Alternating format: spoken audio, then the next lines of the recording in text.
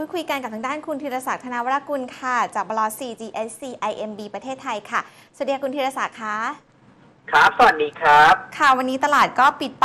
1640 นะคะ บวกมา 4 จุดด้วยกันนะคะ มองเรื่องพวกนี้ยังไงต่อคะก็การปิดกลับนะครับ แล้วก็มาปิดที่ระดับ 1,640ในตัวของเซ็ตอินเด็กนะครับค่ะดูแนวโน้มก็น่าจะยังมีโอกาสเอ่อขึ้นต่อนะครับ ไปทดสอบแนวต้านที่บริเวณ 1,650 นะครับ แล้วก็ถ้ายืนได้เอ่อแข็งแรงสักนิดหนึ่งนะครับ ก็มีลุ้นนะครับที่จะทะลุ 1,650 จุดเนี่ยขึ้นไปในตัวของเซ็ตอินเด็กครับผม ค่ะ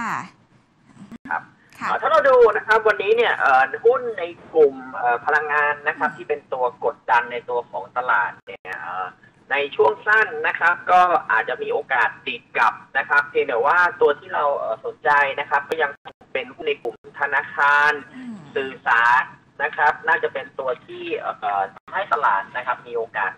ขึ้นต่อนะครับ ในรอบนี้แล้วก็น่าจะเป็นตัวที่แข็งแกร่งนะครับเมื่อเทียบกับกลุ่มอื่นๆครับผมค่ะ แล้วที่พี่แนะนำไว้ล่ะคะ อัปเดตกันหน่อยดีกว่าค่ะหุ้นรายตัวนะครับ ตัวของเอ่อบ้านปู IRPC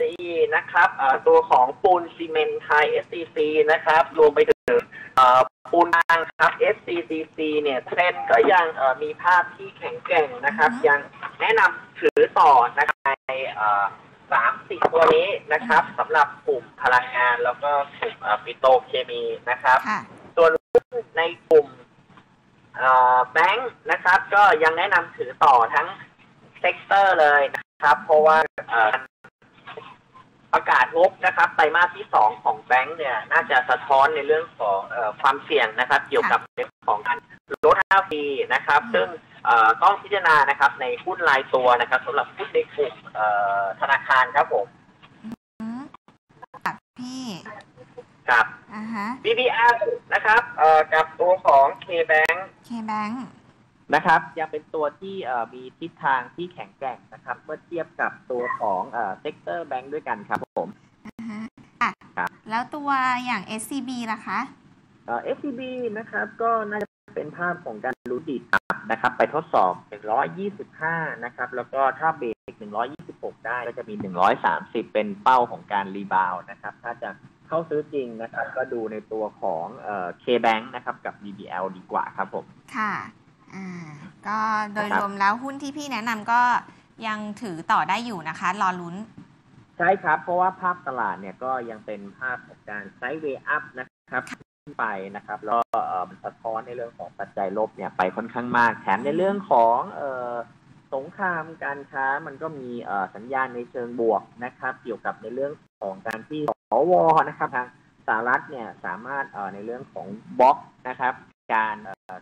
ภาษีนะครับ เกี่ยวกับในเรื่องของการกีดกันทางการค้าเนี่ยก็คือค่ะเวลาที่ทางโดนัลด์ทรัมป์ทวิตหรือว่าเอ่อเสนอไปนะครับ ก็จะต้องไปผ่านในเรื่องของมตินะครับ ของสวอีกครั้งหนึ่งนะครับอืมจึงจะสามารถออกในเรื่องของมาตรการหรือว่าเอ่อการขึ้นภาษีเนี่ยได้อย่างเป็นรูปธรรมนะครับ เพราะฉะนั้นเอ่อในแง่ของการเอ่อการค้าเนี่ยระยะสั้นไม่น่ากลัวเลยนะครับค่ะแต่ถ้าเอ่อ มีงานเกี่ยวกับในของสวนะครับ ผ่านในเรื่องของกฎหมายตรงนั้นเนี่ยจะเป็นปัจจัยในเชิงลบนะครับ ซึ่งตอนนี้เนี่ยเอ่อเรียกว่าลดระดับในแง่ของความกังวลไปมากเลยทีเดียวครับผมค่ะ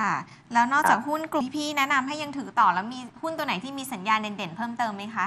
ก็ผมคิดว่าเราคงต้องไปแก้ไอ้หุ้นที่เราติดอยู่นะครับ เพราะว่าภาพของการฟื้นนะครับของค่ะตัวตลาดเนี่ยเอ่อเล็งแนวต้านใหญ่ที่ไม่เกินประมาณพันเจ็ดนะครับอืมแล้วก็เอ่อ ไปปรับพอร์ตเพิ่มตรงนั้นเอาไปปรับพอร์ตตรงนั้นปรับดีพกอร์ตว่าก่อนครับนะเพราะว่าคะ ใช่ครับเพราะฉะนั้นอืม ตอนนี้เนี่ยเอ่อคิดว่าถ้ามีหุ้นอยู่นะครับ ไม่จำเป็นต้องเพิ่มนะครับ ในแง่ของพอร์ตเข้าไปอีกนะครับ ก็ที่แบกอยู่นี่ก็หักอยู่ครับ ก็ไปแกะด้านบนดีกว่าครับผม ค่ะ อ่าได้ค่ะอ่าฮะแล้วทีนี้ในตัวของค่ะเชิญค่ะ ครับเอ่อในตัวของ futures นะครับ ค่ะ S50 U18 นะครับเอ่อไม่หลุดแนวรับนะครับที่ระดับเอ่อ 1,070 นะครับ แล้วก็มีมีกับนะครับยังเป็นฝั่งรองนะครับในตัวของ S50 U18 นะครับ แล้วก็ให้ใช้การหลุดนะครับเอ่อ1065 นะครับ หรือ 1067 เนี่ยลงไปนะครับ จะเป็นจุด stop loss สำหรับการลองในตัวของ S50 U18 นะครับ แล้วก็ให้แนวต้านในช่วงต้านนะครับ เอาไว้ที่ 1,080 แล้วก็เอ่อจุดที่จะเป็นจุดของการ take profit นะครับ จะอยู่ที่ 1090สำหรับ S50 U18 ที่ long ไปในรอบนี้ครับผม ค่ะ แล้วออปชันล่ะคะเอ่อออปชั่นนะครับก็เล็งในตัวของ C 1 0 7 5 นะครับ ตัวเอ่อ at money ครับซึ่งเอ่อราคานะครับที่ถอยลงมาโซนบริเวณ 27 เนี่ยยังเป็นแนวรับนะครับของการ long ในตัวของ call option นะครับ เพื่อลุ้นการ ขยับขึ้นไปทดสอบ 30 แล้วก็มีแนวต้านใหญ่ ๆ อยู่ที่ 35สำหรับ call option ในรอบนี้ครับผม ค่ะตัวทองนะครับก็ระวังเอ่อในตัวของทองนะครับ ถ้าเอ่อมีสัญญาณของการหลุดแนวรับนะครับ ที่ระดับ 1,235 เหรียญนะครับ ลงไปเนี่ยจะเป็นสัญญาณในเชิงลบของทองนะครับ แล้วก็เอ่อภาพของโกลด์เนี่ยอาจจะถอยลึกนะครับ ลงไปที่บริเวณ 19,400ครับผม ค่ะ ก็ในตลาดแบบนี้นะคะพี่ธีรศักดิ์อยากจะแนะนำเพิ่มเติมกับพี่นักลงทุนอย่างดีคะ อ๋อก็ตลาดมันก็เอ่อเรียกว่าส่งสัญญาณฟื้นตัวเนี่ยต่อเนื่องนะครับ ถ้าเอ่อเรียกว่าเป็นคนที่ติดอยู่นะครับ ก็ตอนนี้เนี่ยก็รอในแง่ของภาพในบวกที่กำลังฟื้นตัวนะครับ มาอย่างต่อเนื่องเนี่ยอย่างน้อยเดือนนี้เนี่ยผมคิดว่าตลาด กลับขึ้นมาได้นะครับ ได้ต่อเนื่องตลอดทั้งเดือนนะครับ แล้วก็ไปดูในเรื่องของผลการดำเนินงาน แล้วค่อยปรับพอร์ตกันอีกครั้งหนึ่งครับผมอืมได้ค่ะพี่ขอบคุณมากค่ะ